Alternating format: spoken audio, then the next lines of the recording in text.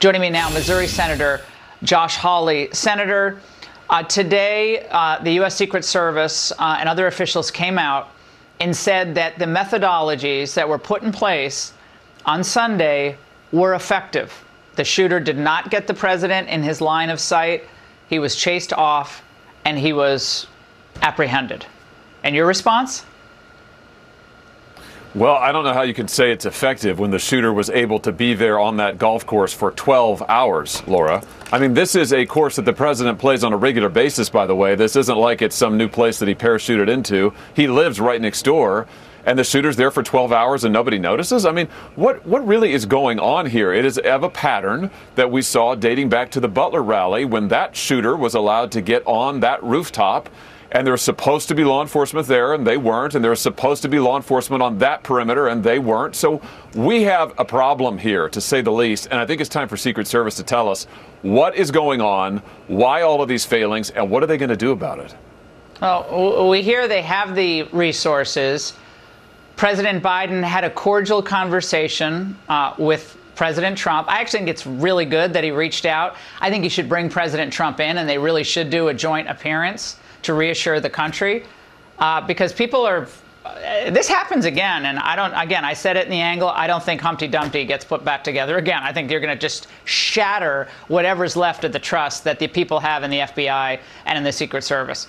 But, Senator, I think it's important for us to remember that the Butler rally questions that this whistleblower and this whistleblower report that just came out uh, raised, those are still outstanding. And some of what you've discovered uh, and brought to light in this whistleblower report is just devastating about why that roof was not um, secured before the president went out to speak. The facts are devastating, Laura, and there are no answers to them. This is the problem. The Secret Service, at this remove of two months, has still not answered the most basic questions. Why wasn't the roof secured? We know that the site plan called for there to be a security perimeter around that building. There wasn't one. It called for there to be law enforcement on top of the roof. They weren't there. Just like this guy at the perimeter of the golf course for 12 hours. Why didn't Secret Service sweep it beforehand? Did they not have surveillance around the perimeter? It's the same series of questions now repeating itself over again. We still haven't gotten answers from the first time around. And for them now, Secret Service, to be declaring victory, excuse me, but you haven't told us anything about what happened two months ago. They are slow walking at best, Laura, at best. Slow walking, if not stonewalling, Congress's request for facts, for documents. They owe the American people an accounting of what happened in July just like they owe them an accounting of what happened over the weekend. Well, we don't know whose job it was, right? What there must have been one or two individuals whose job it was to secure that roof. And in this whistleblower report, we discover that the issue of the oppressive heat, the temperature in the summer, was a factor in not getting the, the, the roof uh, actually monitored and, and secured. Is that right?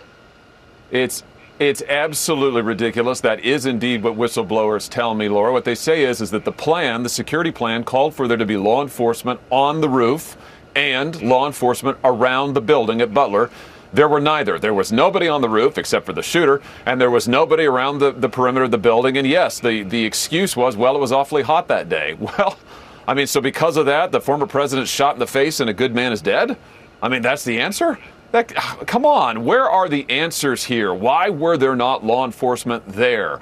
Why weren't they putting their best people on this detail? We also know from whistleblowers that the lead site agent is someone who was not trusted by other Secret Service agents, who was not highly regarded in the service, and who didn't know what she was doing. Why are these people running security for a former president and a current major party nominee? It's, it's all inexplicable, and the longer we go without real answers, Laura, the worse it gets. Well, and if if if DEI is part of what is factoring in here, or is it diversity, you know, check boxes that you got, then that's a real problem. And I think the less we know, the more we can assume the facts are bad for the FBI and the Secret Service. Senator, thank you so much.